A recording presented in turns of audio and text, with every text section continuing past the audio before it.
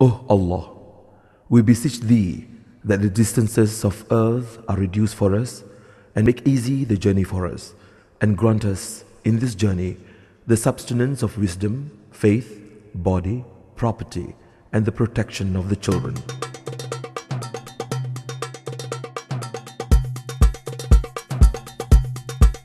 Thank you.